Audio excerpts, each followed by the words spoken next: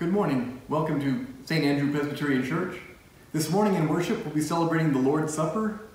So if you're, if you're able to, please have bread and wine or grape juice available for that time during worship service. Uh, also, as we mentioned last week, we've been upgrading our audio visual system and uh, we're still working on getting that working smoothly. It'll be a couple of weeks, but hopefully in, in a few weeks we'll be having uh, live worship on Sunday morning and we'll be streaming it to you over YouTube.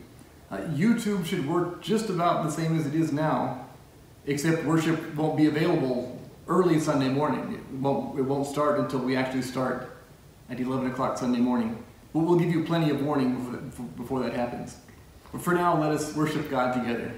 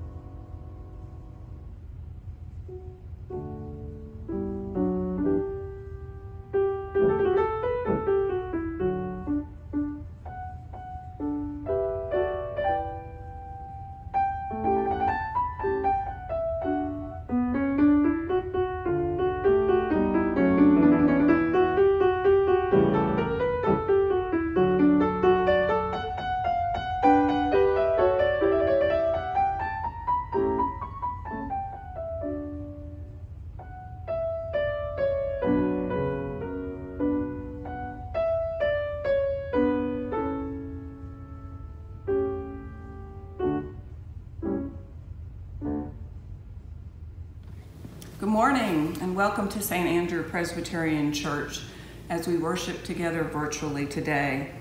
And as Christ servants, we're called to glorify God, call, nurture, and equip disciples, and use the gifts of the Holy Spirit to serve those in need.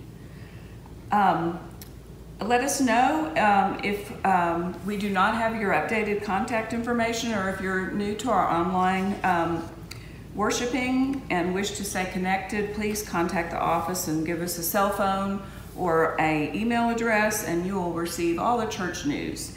And for those without email access, we will keep you updated by regular mail and we have an incredible uh, telephone tree that is ready to um, make sure everyone is provided with time sensitive announcements. So let us now worship God together.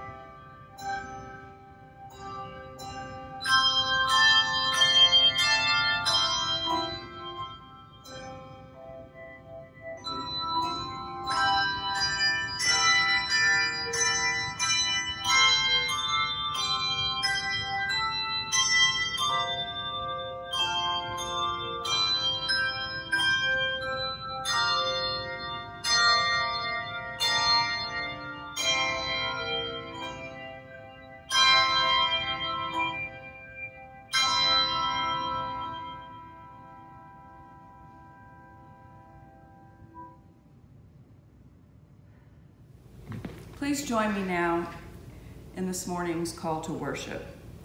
Exalt the Almighty and worship at God's holy mountain. For the, Lord, our God is holy. Look, the Lord draws near. Come into the presence of the Holy One. Let us, Let us behold, the glory of our God. Santo,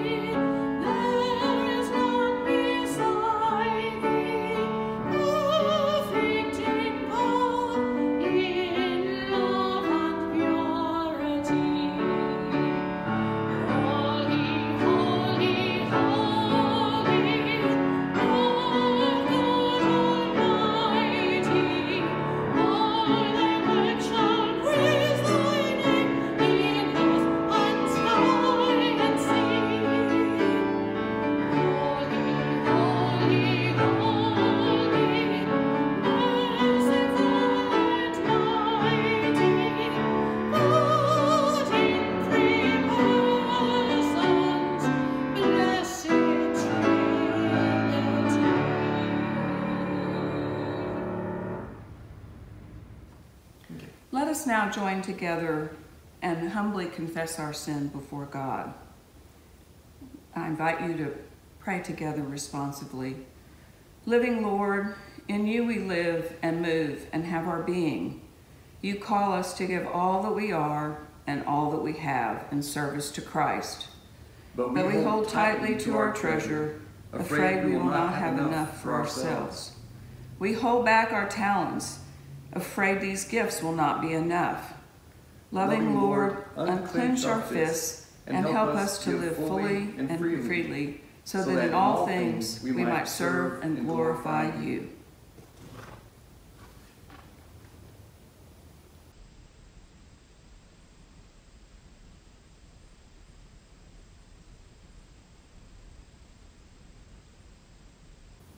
Amen. Hear the good news. Who is in a position to condemn? Only Christ. And Christ died for us. Christ rose for us. Christ reigns in power for us. And Christ prays for us. Anyone who is in Christ is a new creation. The old life is finished in God. Friends, believe the good news. In Jesus Christ, we are forgiven. Thanks be to God.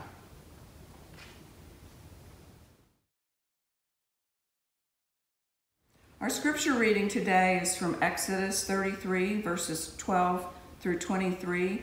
We've been following um, Moses. Um, listen now for the word of the Lord. Moses said to the Lord, See, you have said to me, Bring up this people, but you have not let me know whom you will send with me. Yet you have said, I know you by name, and you have also found favor in my sight. Now, if I have found favor in your sight, sight, show me your ways, so that I might know you and find favor in your sight. Consider too that this nation is your people. He said, My presence will go with you, and I will give you rest. And he said to him, If your presence will not go, do not carry us up from there. For how shall it be known that I have found favor in your sight? I and your people, unless you go with us. In this way we shall be distinct, I and your people, from every people on the face of the earth. And the Lord said to Moses, I will do the very thing that you have asked, for you have found favor in my sight, and I know you by name. Moses said, Show me your glory, I pray. And he said, I will make all my goodness pass before you, and I will proclaim before you the name, the Lord, and I will be gracious to whom I will be gracious, and I will show, mer- show mercy on who I will show mercy. But he said, You cannot see my face, for no one shall see me and live. And the Lord continued, See, there is a place by me where you shall stand on the rock, and while my glory passes by, I will put you in a cleft of the rock, and I will cover you with my hand until I have passed by. Then I will take away my hand, and you shall see my back, but my face shall not be seen. This is the word of the Lord. Thanks, Thanks be to God. Our gospel lesson today comes from Matthew chapter 22, beginning with the 15th verse. Over the last few Sundays, we've had readings concerning Jesus coming into Jerusalem and contending with the religious leadership of his day, uh, often being very critical of those religious leaders. So it's not surprising that in this reading, the religious leadership now has some questions for Jesus. So let us listen for the word of God. Then the Pharisees went and plotted to entrap him in what he said. So they sent their disciples to him, along with the Herodians, saying, Teacher, we know that you are sincere and teach the way of God in accordance with truth and show deference to no one, for you do not regard people with partiality. Tell us then what you think. Is it lawful to pay taxes to Caesar or not? But Jesus, aware of their malice, said, Why are you putting me to the test, you hypocrites? Show me the coin used for the tax. And they brought him a denarius. Then he said to them, Whose head is this, and whose title? And they answered, Caesar's. Then he said to them, Give therefore to Caesar the things that are Caesar's, and to God the things that are God's. When they heard this, they were amazed, and they left him and went away. This is the word of the Lord. Thanks be to God.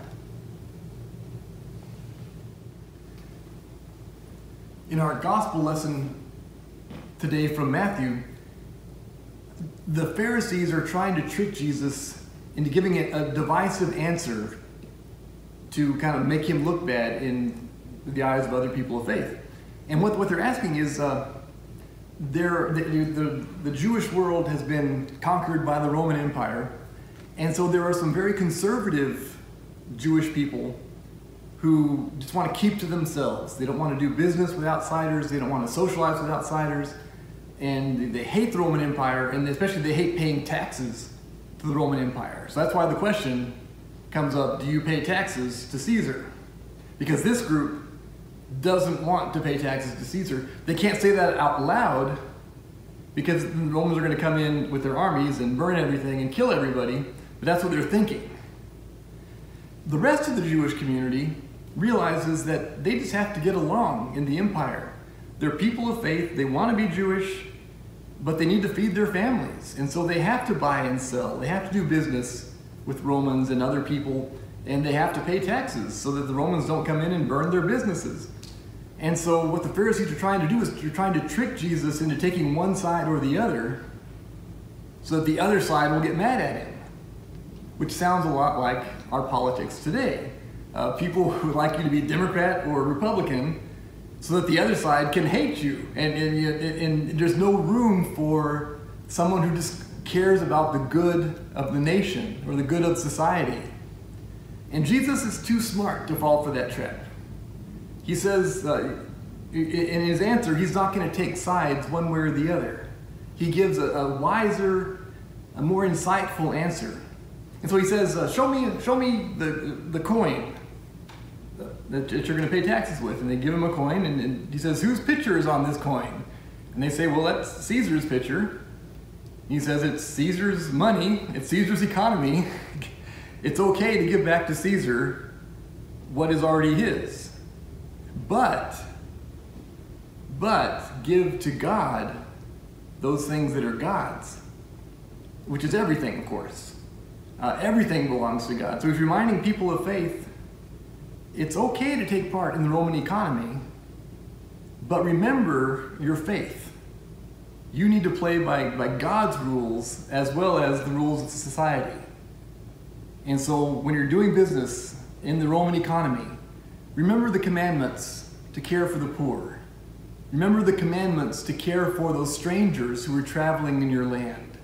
Remember the commandments to care for widows and orphans, to always be honest in your dealings with, with other people. If you do all of that, follow all those commandments from your faith, then it's no problem handling Caesar's currency. And so, what he's saying is that there's no place that a faithful person should be afraid to go.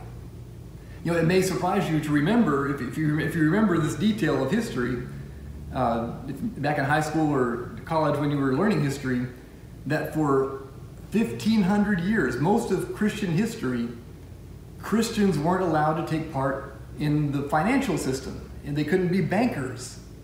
It was forbidden for Christians to do that because th- th- it was considered that industry was, was just too prone to abuse and too, too, too prone to evil. And there were Old Testament uh, commandments against charging interest. And so for a long time, Christians could not take part in the financial industry. Well, we don't do that anymore. Uh, I think it was Queen Elizabeth who changed that, those rules because she needed to borrow money to, to build up an, a, a, a navy. But uh, but what we've learned is that you can do good work, even in an industry that can be prone to abuse. You know, there, there, there are ways of lending money that, that hurt people, that uh, put too much burden on them, and they can't pay back those loans, and they end up losing things. The farmers end up losing farms. Uh, but there are good ways of, of, of loaning money also. In fact, a lot of the wealth that the, the world currently enjoys is because we've been able to uh, borrow money and and build up an economy and people aren't going hungry anymore.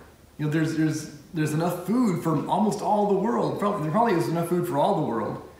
Uh, i think it's mainly military conflict that's keeping the food from getting to the places where it needs to go. But that wealth that's built up is not just wealth it's actually people being able to eat because the economic system has worked pretty well and so we, we've learned you can be a good person in the financial world which they thought was not possible a thousand years ago. They thought you could not be a Christian. Same thing with uh, certain Christian groups uh, are, are pacifists. So Quakers, uh, Amish, they won't take part in violence. And so the U.S. government and those groups have had to work out a deal where uh, when there is a draft, they can be drafted into the military, but they'll only do jobs that are not violent. So you can be a Quaker in the army and they can put you on the front lines as a medic. And so you're carrying medical equipment and you're healing people instead of carrying a weapon. And so there's, there's those balances that can be made. And I think what Jesus is saying is that you can go anywhere as a person of faith. There's no place you have to be afraid of because your faith is going to bring goodness not just to your life, but to the, to the people around you. And so not only is there no, no place you can't go, you probably need to go everywhere. We need to bring the faith to every segment of society. And when you look at Jesus' ministry, You know, a, a lot of the ministry, uh, people got mad at Jesus was because he was breaking the rules of isolation. Uh, in order to be a, a pure person in this faith system of Jesus' day, you could not uh, deal with outsiders who weren't Jewish. You couldn't deal with the sick. Uh, lepers were especially bad. Uh, people of questionable mor- moral character, like tax collectors and prostitutes, you couldn't have any dealings with them. And of course, Jesus did deal with all these people. And he showed them God's love and talked to them about you know, living a, a beautiful life that benefits everybody. And people got mad at Jesus because he was breaking the rules. He was going into those dangerous places. But the belief Jesus had was that his goodness was more infectious than the evil of the world was infectious towards him. And that's, if you look at the gospel, the, the, the Exodus lesson, uh, that's kind of what's going on in that story. It's a strange story from modern perspectives, but uh, Moses is telling God, you know, you've given me these commandments, but I, I don't think these people really believe that what I'm telling them is from you. So I need, I need a sign from you of who you are. And you know, this has happened before. At the very beginning of his, his work, uh, Moses said, I can't lead these people out of Egypt. They're not going to respect me. Uh, and so he says, God, tell me your name. Give me the name of God. Maybe that'll convince them that God really is with me. And the, the answer God gives is kind of cryptic. Uh, God says, I am who I am, which is repeated in, in this lesson uh, today. And so is that a name? Uh, it, it, eventually in, in Hebrew it becomes the name Yahweh. But I think what God is saying is, you can't name me. You, no, no name can limit who I am. I'm going to do what I'm going to do. I am who I am. And so, in a lot of ways, that name of God is not a name at all. In today's lesson, uh, Jesus, uh, Moses asks for similar things. Let me see your face, and and then people will, will will believe that I've seen you. And God's answer is, no one can see can look at God and survive. No mortal can survive God's presence. And so they again negotiate, and this time God says, okay, here's what I'll do. I'll cover your eyes. Go hide behind a rock. I'll cover your eyes. I'll pass by you, and you can look at my back. Now, this is a lot of, uh, of uh, imposing human form on God, which I don't think is you know we can do. So I, I think this is a metaphorical story. I don't think God really had a hand to cover Moses' eyes and his face versus his back. You know, I, I that's not the way we normally think about God. But I think what the meaning of this story is that God is too much for us. That no mortal can ever understand all there is to know about God, but we don't have to. Just, just a little bit of God, a little glimpse of God from the back is good enough to power our lives, to convince people that we really are doing good work in the world.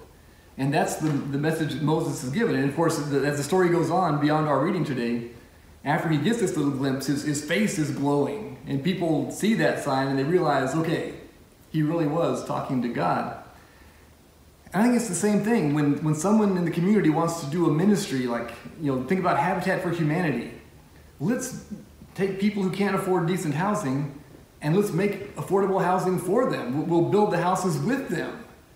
And, and, and they'll, build, they'll be able to afford housing. It'll help the rest, the rest of their economic life. They'll be able to take part in the economy in a way they've never been able to before. And it's, it's a fantastic idea. And I think when people heard that idea, they, they kind of saw that reflection of God's love and God's possibilities. And, and all over the world, Habitat for Humanity is building houses. You know, when you, when you need, when you want to give food to a hungry family, and you say people, ask people to, to help you with that project, a lot of times people will see that reflection of God's face in your face. And they'll say, great idea, how can I help? Jesus is not afraid of the poverty in the world, of the evil of the world. Instead, it should be the other way around. Uh, those things like poverty and evil and violence should be afraid of what Jesus is bringing, which is grace and love for all. Uh, and he says you can go anywhere and do anything with that grace and love in your life. So give to Caesar whatever Caesar, you know, whatever whatever the government's doing. You can take, part in it if you take part in, in God's work in your life. Which brings me to the the uh, the time of year. It's it's a stewardship season where our, our entire church community is thinking about what are we doing in our, ministries.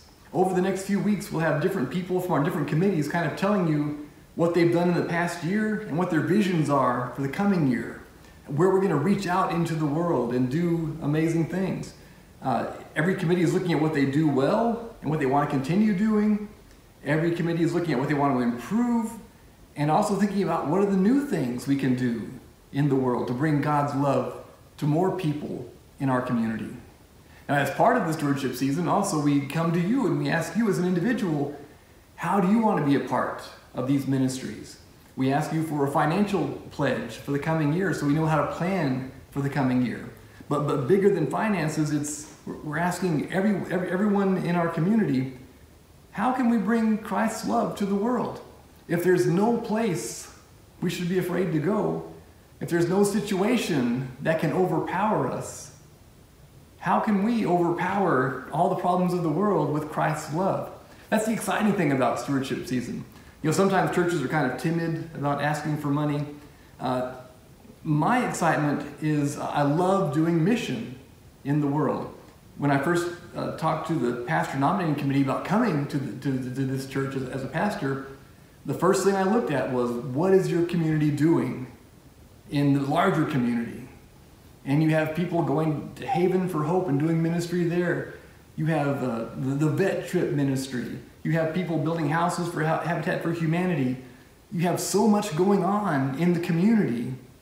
This is a church that anybody would want to be a pastor of because it's doing the work of Jesus in the world. And that's what we want to continue doing. And so, uh, listen closely to what all our committee chairs are saying about what's going on in the church. Uh, learn a little bit more about us and share your ideas with us. What could we be doing in the community in the future to bring that love of Christ to more people? And then consider your part. How do you want to take part in our ministry in the coming year? Think about that with no fear in your heart at all. Because all the power of God is available for you to go out into the world and do what needs to be done every day. Amen.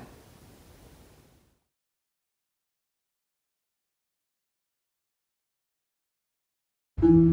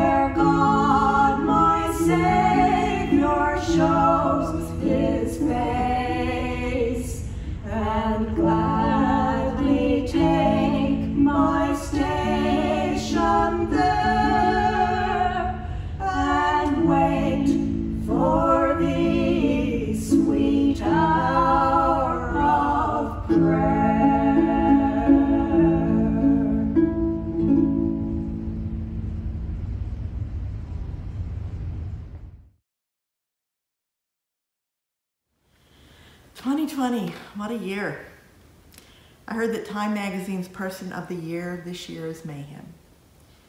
Well, it's St. Andrew's Presbyterian Church steward, Stewardship Time of the Year, and I represent the worship committee team. It's the time we look back at the year and give you a minute for mission about the things that we've done, how we have spent the money generously budgeted to us, and to request that you renew your pledges, tithes, and giving for 2021. And just like the saying that it takes a village to raise a child, it also takes a village to offer a worship experience at St. Andrew. So here we go. Um, we are thankful to have been a part of the planning and the shepherding of the sanctuary upgrade project. The worship team has been a big part of that, but also we are grateful for the assistance from a few other technology oriented St. Andrew saints. Soon there will be live streaming of our worship service with the hope that it also serves as an outreach to the world and not just our San Antonio community. We have been blessed with talented, willing people who have made themselves and their knowledge available to us, and there is no price tag for that. Music has carried us through the year even more than ever before as musicians have stepped up to record and offer their love for God and for our St. Andrew family. We have enhanced the handbills with some equipment to encourage social distancing and safety. We have worked on and fostered the return to worship document to offer guidance to the session to consider. You know, some things just never change, even in a pandemic, as we continue the changing of the colors of the season for St. Andrew. We have been the sponsors of the Lenten devotionals, uh, the prayer crosses, Easter lilies, and the Christmas poinsettias, as usual. I think one of the most important things is continuity of our St. Andrew way of life.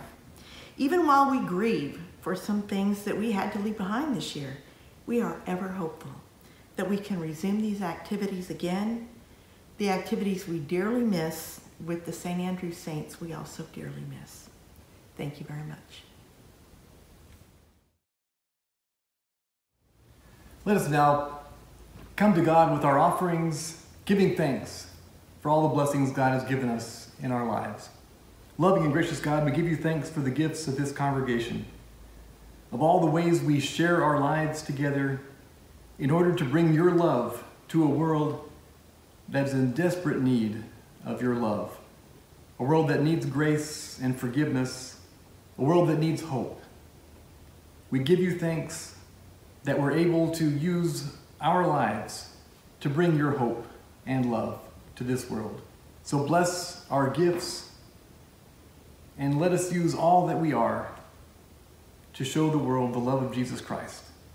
For it's in his name that we pray. Amen.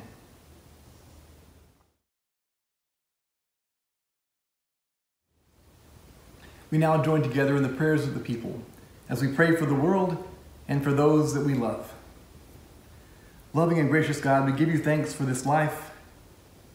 Bless all the nations of the world and help the leaders of the nations to lead with fairness and justice, with love and grace, for the benefit of all of your children throughout the world.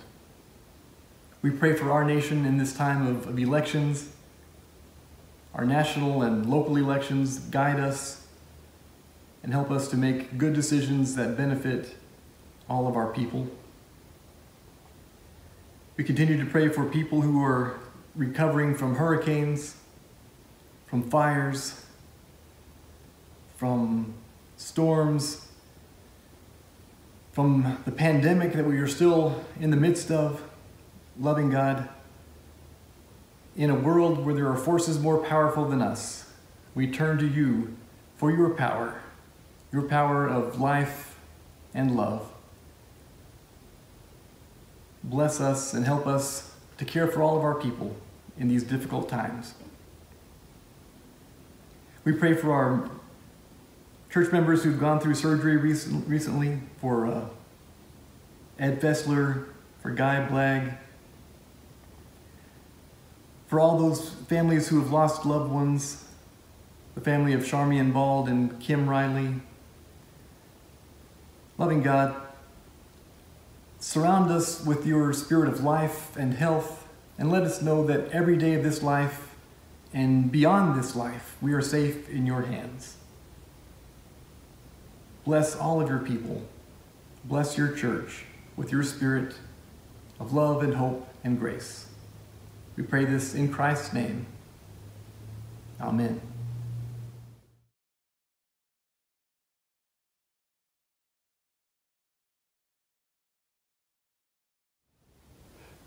Let us now celebrate the Lord's Supper together. Friends, this is the joyful feast of the people of God. People, will come from east and west and from north and south and sit at table in the kingdom of God. According to Luke, when our risen Lord was at table with his disciples, he took the bread and blessed and broke it and gave it to them. Then their eyes were opened and they recognized him. The Lord's table is an open table. Our Savior invites all those who trust him to share this feast which he has prepared. So let us join together in the great prayer of thanksgiving. The Lord be with you. And also with you, Lift up your hearts. we lift them up to the Lord. Let us give thanks to the Lord our God. It is right to give God thanks and praise. Holy God, we praise you. Let the heavens be joyful and the earth be glad. We bless you for creating the whole world, for your promises to your people Israel, and for Jesus Christ, in whom your fullness dwells. Born of Mary, he shares our life. Eating with sinners, he welcomes us. Visiting the sick, he heals us. Dying on the cross, he saves us. Risen from the dead, he gives new life. Living with you, he prays for us. Therefore, we praise you, joining our voices with choirs of angels and with all the faithful of every time and place, who forever sing to the glory of your name. Holy, holy, holy Lord, God of power and might, heaven and earth are full of your glory. Hosanna in the highest. Blessed is the one who comes in the name of the Lord. Hosanna in the highest. With thanksgiving, we take this bread and this cup and proclaim the death and resurrection of our Lord. Receive our sacrifice of praise as we proclaim the mystery of our faith. Christ has died. Christ is risen. Christ will come again. Pour out your Holy Spirit upon this meal. That this meal may have may be a communion in the body and blood of our Lord. Make us one with Christ and with all who share this feast. Unite us in faith, encourage us with hope, inspire us to love, that we may serve as your faithful disciples until we feast at your table in glory. We praise you, eternal God, through Christ, your word made flesh, in the holy and life giving Spirit, now and forever, as we pray together. Our Father, who art in heaven, hallowed be thy name. Thy kingdom come, thy will be done, on earth as it is in heaven. Give us this day our daily bread, and forgive us our debts, as we forgive our debtors. And lead us not into temptation, but deliver us from evil. For thine is the kingdom, and the power, and the glory forever. Amen. Our Lord Jesus Christ, on the night of his arrest, took the bread, and after giving thanks to God, he broke it and gave it to his disciple, disciples, saying, Take and eat. This is my body given for you. In the same way, after dinner, he took the cup.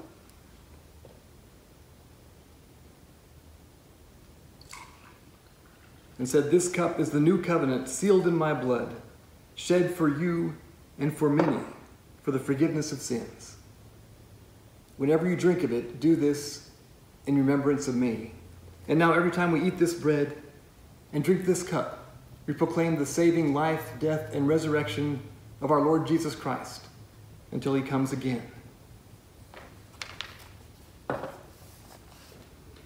And now let us take communion together. The body of Christ given for you.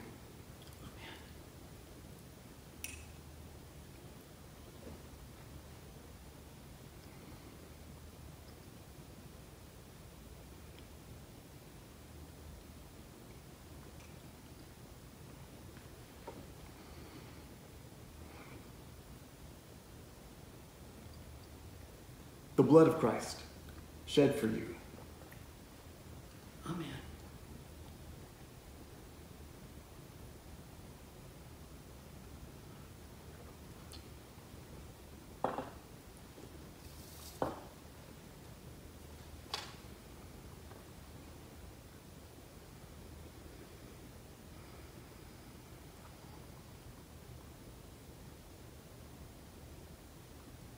Let us pray. We thank you, O God, that through word and sacrament you've given us your Son, who is the true bread from heaven and the food of eternal life. Strengthen us in your service, that our daily living may show our thanks through Jesus Christ our Lord. Amen. Amen.